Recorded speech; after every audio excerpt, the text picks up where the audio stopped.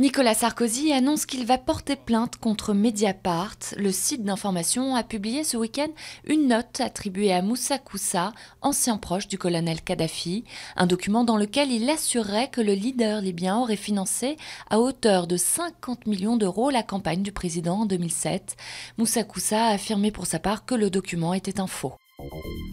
Nouveau sondage à quelques jours maintenant du second tour de l'élection présidentielle. François Hollande est crédité de 53% des intentions de vote et perd ainsi un point, alors que Nicolas Sarkozy en gagne un et s'établit à 47%. Tant convoité par les deux finalistes, un tiers de l'électorat frontiste n'ira pas voter dimanche selon le sondage Ipsos. En dépit de la présence d'observateurs dans le pays, de fortes explosions ont secoué la ville d'Idleb dans le nord-ouest de la Syrie. Au moins huit personnes sont mortes et des dizaines d'autres ont été blessées selon la télévision syrienne. Ces attaques visaient les forces de sécurité.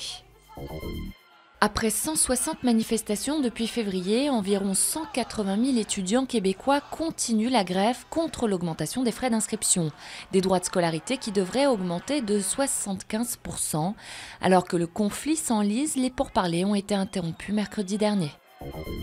Pour la deuxième année consécutive, les chalutiers de Méditerranée restent à quai, en cause la taille du poisson qui diminue et la hausse du prix du gazole.